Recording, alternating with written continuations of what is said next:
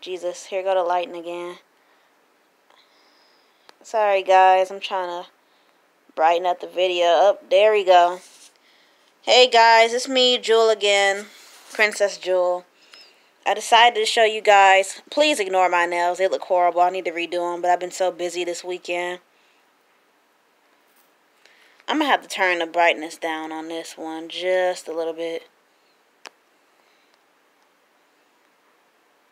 Alright, there we go. Sorry about that. It's too bright, and it was taken away from the beauty of the jewelry. I got this uh, cute gumball necklace from GoZgi. And, um... In the back, you can see a, a Rilakkuma sticker. His sister. I'm trying to get all the little decor out the way.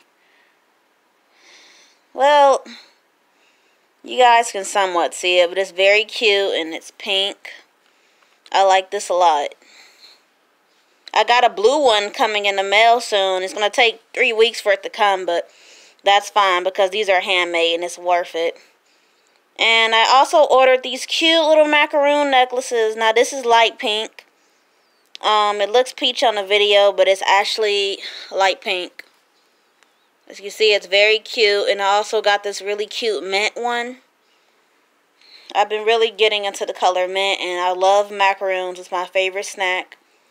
So I decided to get these. When I get more money, I'm definitely going to go back and get the light purple and the light blue.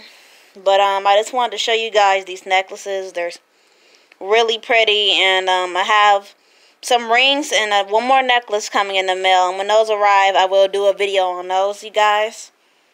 But um, that's all I have for today. I will definitely show you guys more jewelry when I get some.